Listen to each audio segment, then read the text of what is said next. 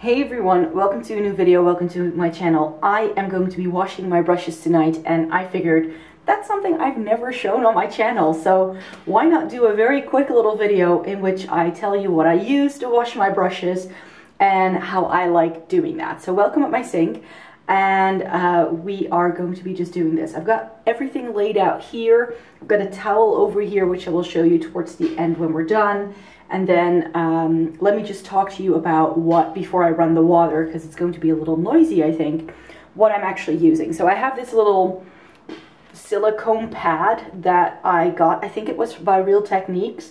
And it's got all these like ridges on it. So I use the larger ridges for my larger brushes and then these smaller ridges for my smaller and more medium brushes in the middle.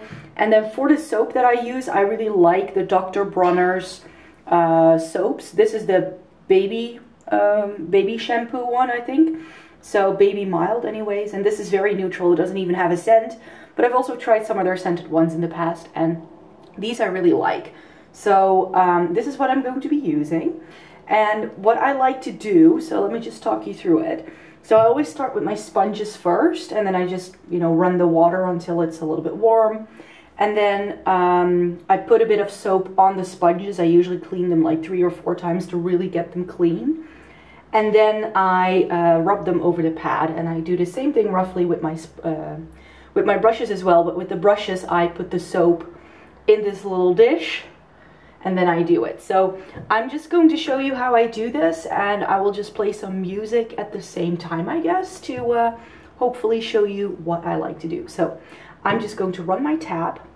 Let's clean some brushes.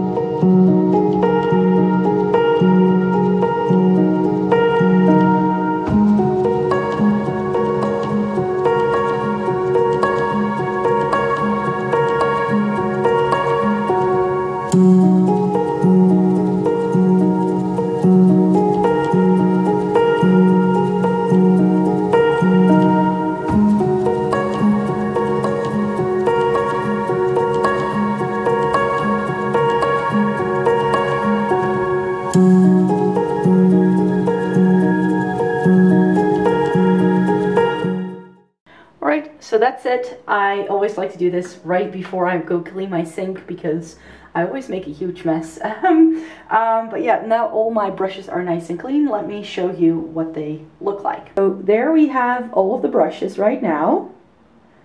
They are all very much going to be drying like that. I always give my towel a little extra roll at the end so they're a bit more slanted so that the water really sort of goes down downwards and this will be dry tomorrow morning, I'm sure. So I'm now going to be transferring these guys to my office so that can they can dry and I can use them again tomorrow when I want to film another video. So um, I hope this video was probably really short and sweet and that it was still like useful to watch. I'm not even sure.